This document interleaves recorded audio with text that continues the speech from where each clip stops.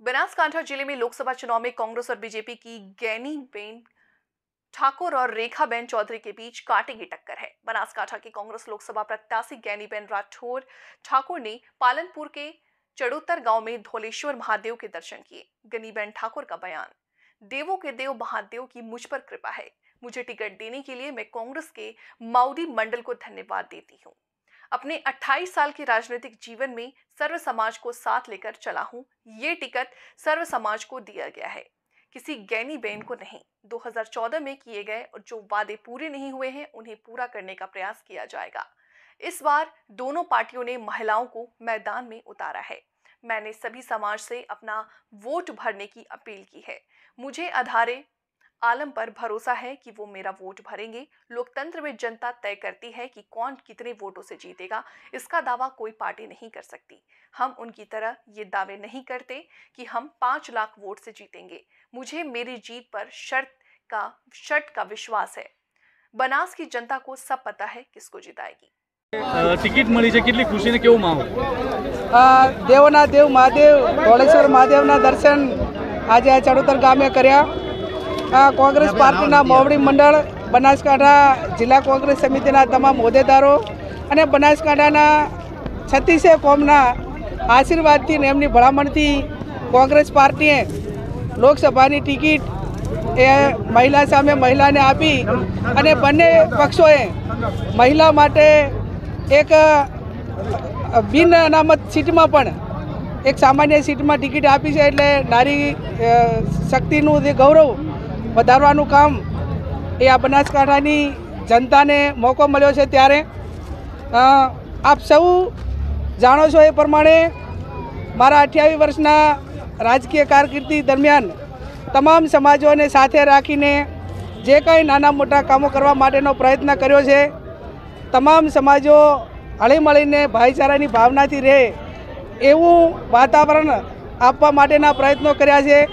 સરકારની જે યોજનાઓ હોય, એ સારા કામ માટે કરીને ક્યાંક સારું કહેવા માટે પણ તૈયારી બતાવીને લોકોનું કામ થાય, એ માટેના પણ પૂરા પ્રયત્નો કરી અને જેટલું જનહિતના કાર્યો માટે કાયમ અગ્રેસિવ રહી, સરકાર સુધી વાત પહોંચાડવામાં મીડિયાના માધ્યમથી કે જે રીતે પ્રયત્નો કાયમી કર્યા છે, ત્યારે આ ટિકિટ એ કોઈ જ્ઞાનીબેન ઠાકોરને નહીં, પણ બનાસકાંઠાની છત્તીસે કોમને અને કોંગ્રેસ પાર્ટીના હોદ્દેદારોને એના, એને ટિકિટ આપી છે અને એને ટિકિટ આપી છે ત્યારે આવનાર સમયમાં અમે કોંગ્રેસના સૌ આગેવાનો બનાસકાંઠાની જનતાને સાથે રાખીને, અઢારે આલમને સાથે રાખીને જ્યારે ચૂંટણી મેદાનમાં જઈશું ત્યારે જે અમારી કોંગ્રેસ કોંગ્રેસ પાર્ટીનો ચૂંટણી ઢંઢેરો અને બે હજાર ચૌદમાં જે વચનો આપ્યા હતા અને નથી પૂરા થયા એ વાત પણ મૂકીશું. એટલે આજે માત્ર ધોળેશ્વર મહાદેવના દર્શન કરી અને આપ સૌએ મીડિયાની પણ માફી માગું છું કે બાઇટ આપવામાં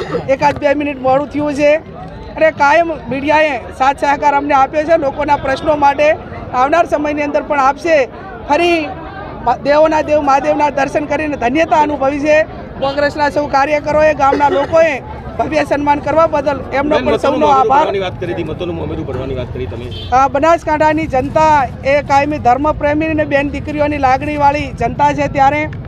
આ મામેરું એટલે કોઈ આપણી પરંપરા પ્રમાણે છત્તીસે કોમ કોઈ બેન દીકરીના સારા પ્રસંગ માટે ઉત્સાહના ભાગરૂપે એમના જે કંઈ પિયરીય પક્ષે લાગણીવાળા એક આપણે સંસ્કૃતિ પ્રમાણે મામેરું ભરતા હોય છે. એટલે મામેરામાં મેં ઘણા એક સ્લોગન સાથે સૂત્ર આપ્યું છે કે બનાસની બેન, ગેની બેન, જ્યારે બનાસકાંઠાએ બેન કીધી છે ત્યારે મને સો ટકા બનાસકાંઠાની જનતા ઉપર, અઢારે આલમ ઉપર છત્તીસે કોમ ઉપર ભરોસો છે કે જેમ બે હજાર સત્તર ને બાવીસમાં ભાવ વિધાનસભાની તમામ સમાજે મામેરું ભર્યું હતું, મતનું મામેરું ભર્યું હતું, એ રીતે સમગ્ર બનાસકાંઠાની જિલ્લાની જનતા છે એ મામેરું ભરી અને એક ગરીબ સમાજની દીકરીને પ્રથમ વખત ઠાકોર સમાજની દીકરીને ઓબીસીને ટિકિટ આપી છે સ્થાનિક મુદ્દાઓને આધીને. અને એ પ્રમાણે મને આશીર્વાદ આપશે એવું બનાસકાંઠાની જનતા ઉપર અઢારે આલમ ઉપર લીડની વાત કરી છે. આપને જીતનો કેટલો વિશ્વાસ આ લોકશાહીની અંદર કોણ કેટલા દાવા કરે પોતાનો સ્વતંત્ર અધિકાર છે. અંતે કોઈ પક્ષ દાવો ના કરી શકે કોઈ વ્યક્તિઓ ના દાવો કરી શકે.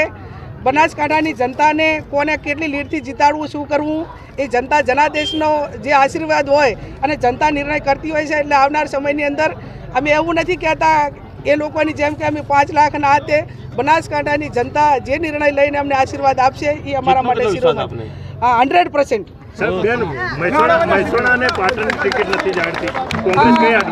કોને ટિકિટ કયા જિલ્લામાં નક્કી કરવી એ પાર્ટીનો નિર્ણય હોય છે ને પાર્ટીને ટૂંક સમયની અંદર નિર્ણય લઈ લેશે.